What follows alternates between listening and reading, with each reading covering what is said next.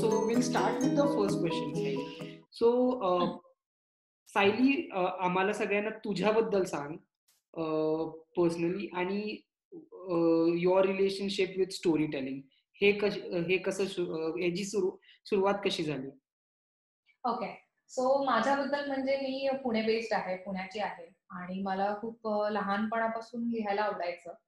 So actually खर तर लिहायला मला येण्याच्या आधी मला लिहायला आवडायचं मला माहीत नव्हतं.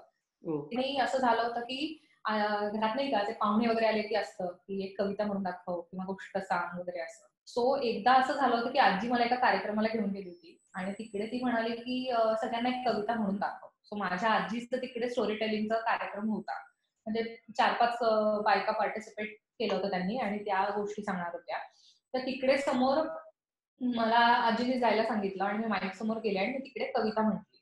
आणि ती कविता म्हटली आणि बाहेर आल्यानंतर आजीला असं झालं की ही कविता तुला कोणी शिकवली नाहीये. म्हणजे ही कविता तुला कोणी सांगितली नाहीये.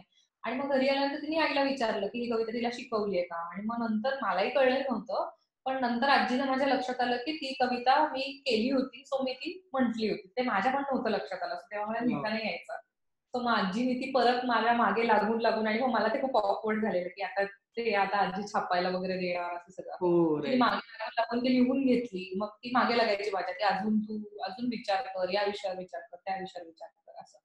सो शाळेमध्ये जे आपलं अॅन्युअल मॅगझिन असतं त्या मॅगझिन्समध्ये माझ्या थोड्याफार कविता यायच्या जास्ती घ्यायच्या नाही कारण मला खूप असं ते त्याचं पब्लिसिटी आणि याच्यामध्ये इंटरेस्ट नव्हता. पण आई किंवा आजी जेवढ्या पब्लिश करायला द्यायच्या तेवढ्या द्यायच्या. मग त्याच्यानंतर हायस्कूलमध्ये पण ते चालू होतं. मग त्यानंतर माझं ग्रॅज्युएशन इंजिनिअरिंग आहे.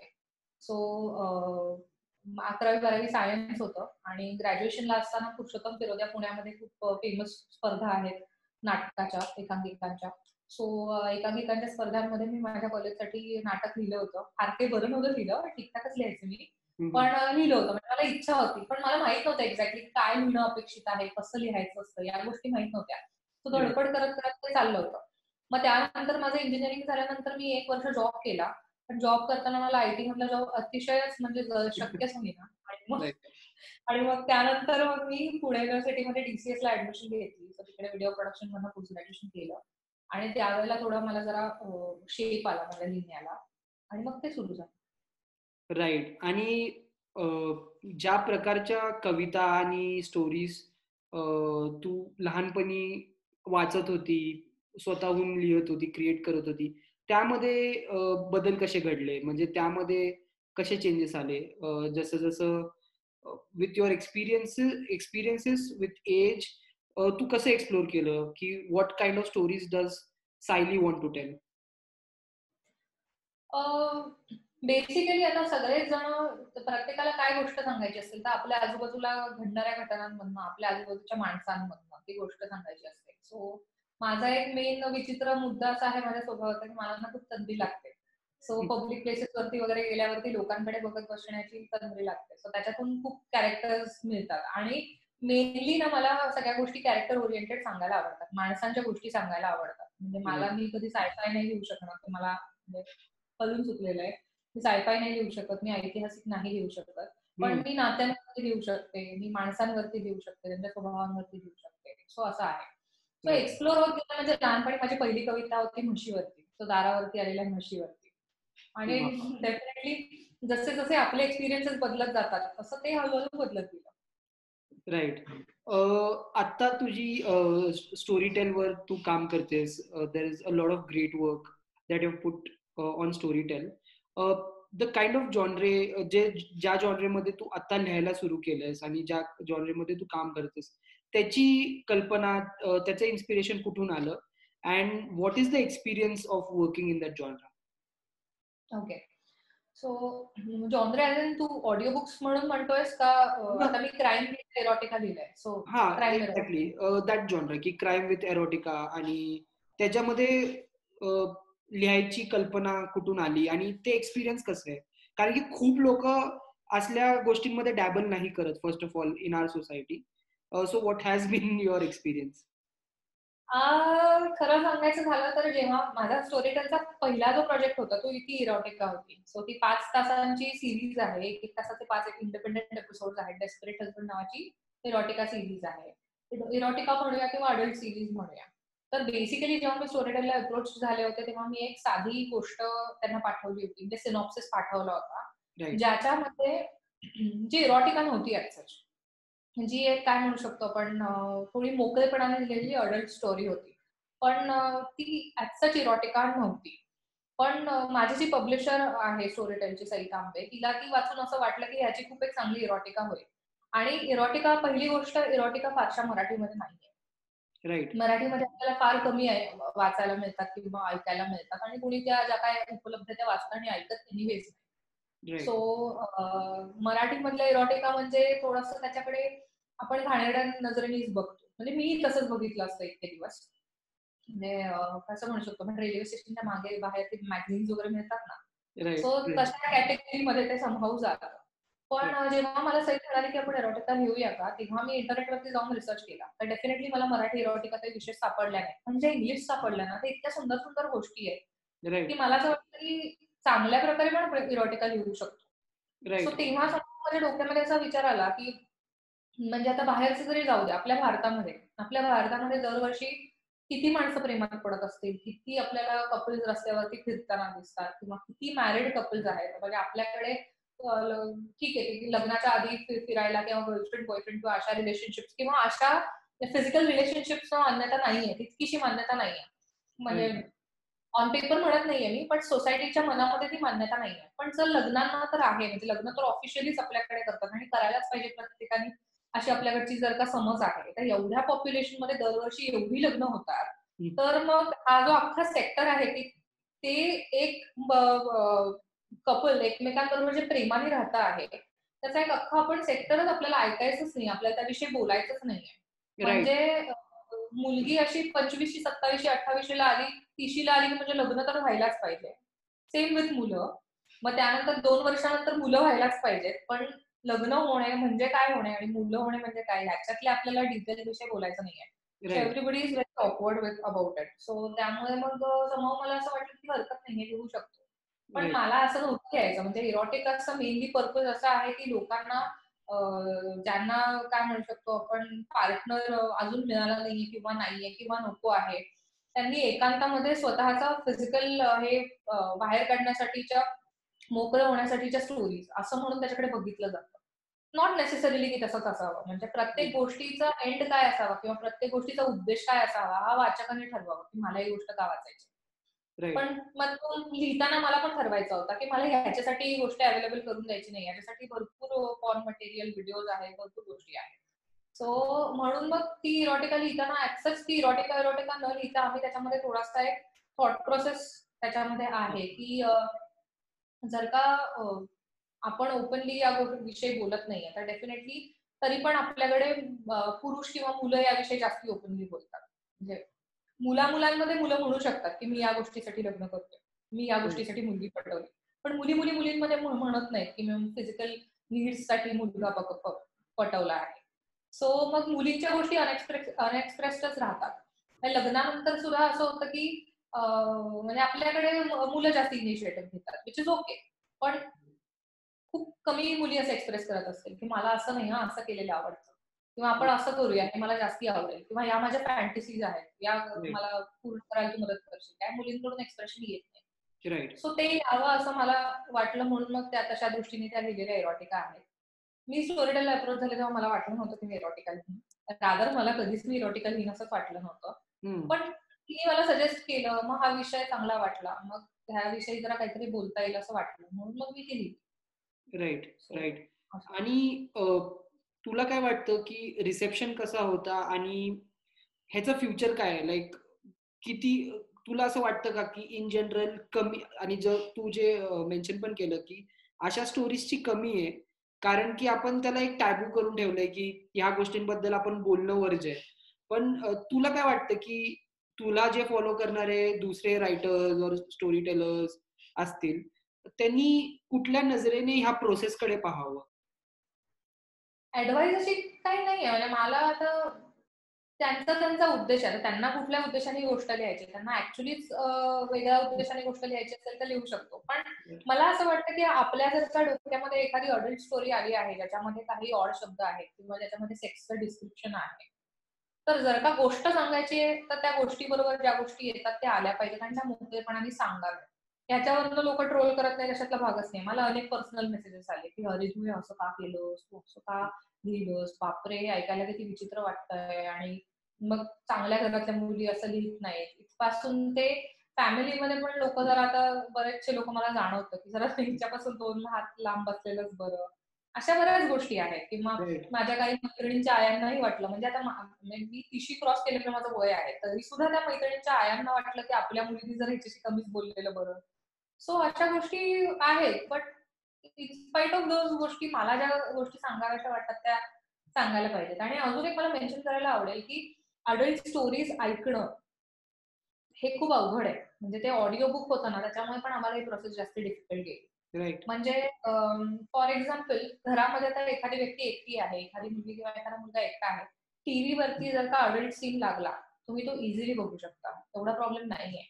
तुम्हाला तो वाचायचा असेल तुम्ही तो इझिली वाचू शकता. त्याच्यात पण प्रॉब्लेम नाही पण तुम्ही कानात इयरफोन्स घालून जर का तो ऐकायचा प्रयत्न केला आणि त्याचं जर का ऍक्च्युली प्रत्येक बॉडी पार्टच्या पार्टचं वर्णन आलं किंवा त्यांनी तिला कसा हात लावला याचं वर्णन आलं ना की ते अनकम्फर्टेबल होत तो त्यामुळे ते थोडस विचित्र आहे. त्यामुळे ते अवघड आहे. वेळ लागेल प्रोसेस चेंज करायला आणि पण कुठून तरी सुरुवात झालीच पाहिजे. आणि तुला म्हणजे तुझ्या स्टोरीज थ्रू ती सुरुवात झालेली आहे.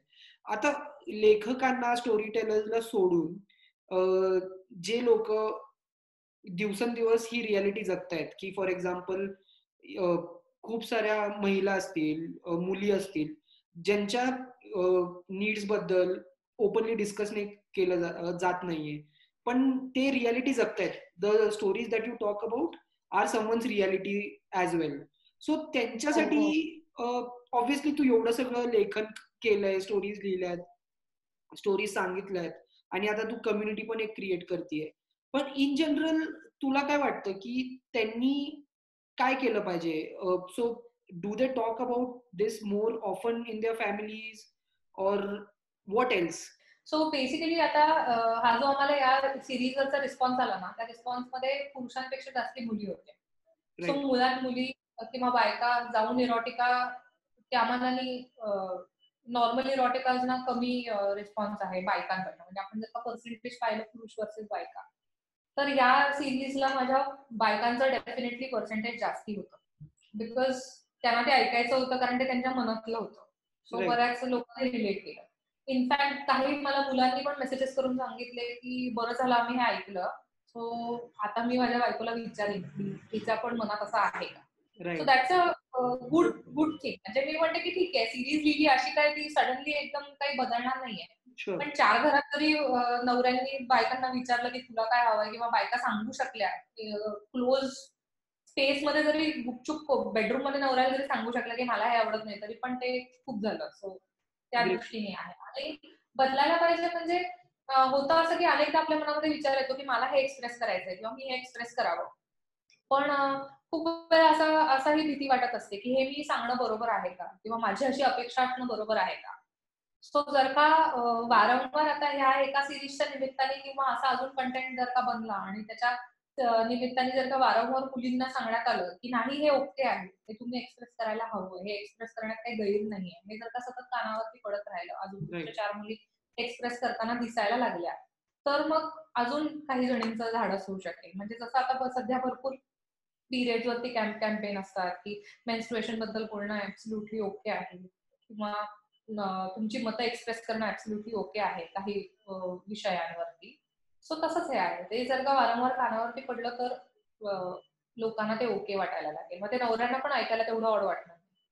Right this is a good segue into your Parv community जे तू पर्व करते. सो ऑलरेडी आम्हाला खूप सारे इंटरेस्ट आलाय तुझ्या कम्युनिटी संदर्भात अशा लोकांचा की who relate to your stories who relate to your kind of stories and the kind of expression that you put out म्हणजे ज्या गोष्टींबद्दल तू बोलतेस. तर तुला पर्वबद्दल काय वाटतं ऍज अ प्लॅटफॉर्म आणि तुझं ओव्हरऑल इंटेन्शन काय आहे पर्ववर ह्या कम्युनिटी थ्रू ओके सो पर्वचा इनिशिएटिव्ह मला भयंकर चांगलं वाटतं या गोष्टीसाठी की आता सध्याचे सोशल मीडिया आहे फेसबुक आहे किंवा इंस्टाग्राम आहे त्याच्यावरती लोक खूप लिहितात खूप लिहितात, ते चित्र काढतात, ते टाकतात, त्यांचे बरेचसे व्हिडिओज टाकतात. पण होतं असं ना, की आता लिखाणाविषयी बोलायचं झालं, तर 2-4 चांगल्या फोटोजमध्ये एखाद्याचा चांगला लेख निघून जातो.